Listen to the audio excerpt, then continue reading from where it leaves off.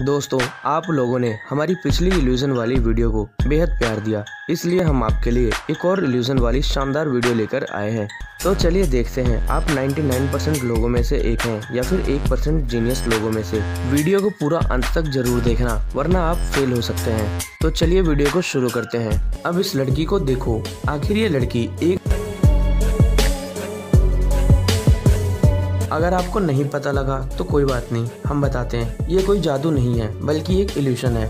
अगर आप इस वीडियो को स्लो मोशन करके देखेंगे तो आपको पता चलेगा, यहाँ दो हाथ हैं, जिनके ज़रिए ऐसा किया जा रहा है। और अभी कुछ अजीब या अलग सा नज़र आ रहा है। जरा ध्यान से देखो और बताओ।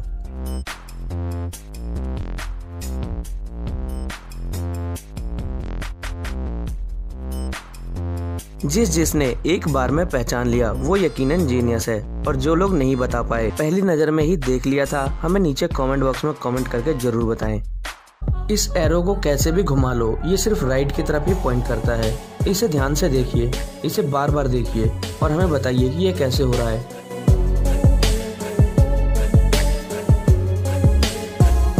आपको बता दें, इसको बनाया ही इस तरह से गया है कि इल्यूशन क्रिएट करे।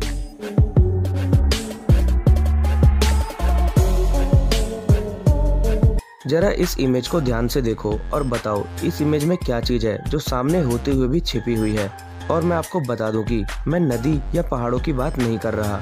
तो चलिए, आपके पास 10 सेकंड का सब अगर आपको वो नहीं दिखा तो कोई बात नहीं, मैं ही आपको बता देता हूँ। लेकिन जिस जिसको वो चीज़ दिख गई तो कॉन्ग्रेचुलेशन क्योंकि उसकी आँखें और दिमाग बेहद तेज हैं। जरा इस इमेज में थोड़ा पीछे की ओर देखो। इस जगह पर आपको एक लॉयन दिखेगा। है साइज़ चेंजिंग ह्यूमन इस वीडियो करते ही दोनों का साइज़ भी चेंज हो गया। क्या आपको पता लगा ये क्यों हो रहा है? अगर आपको इसके पीछे का कारण समझ में आ गया तो आपको हमें नीचे कमेंट करके ज़रूर बताएँ। अगर आप अब भी नहीं समझ पाए तो कोई बात नहीं, आप उन्हीं आम लोगों में से एक हैं। तो चलिए हम बताते हैं।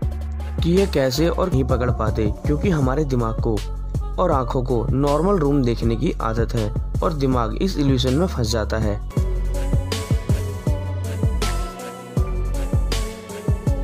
दोस्तों, अब तो आपको पता चल ही गया होगा कि आपका दिमाग कितना तेज है और आप दुनिया भर के निन्यानवे परसेंट लोगों में से आए, ताकि हम आपके लिए ऐसी और भी इंटरेस्टिंग वीडियोस लाते रहें। ऐसी ही और भी वीडियोस को देखना चाहते हो तो चैनल को सब्सक्राइब ज़रूर कर लो। साथ ही साथ बेल आइकन भी हिट कर देना। धन्यवाद।